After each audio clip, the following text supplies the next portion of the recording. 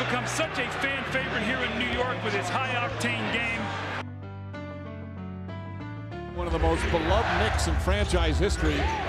Well, Mace was obviously a tough player, mentally, physically.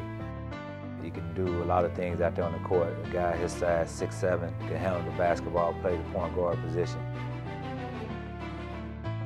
Anthony Mason of the New York Knicks was named winner of the 1994-95 NBA Sixth Man Award.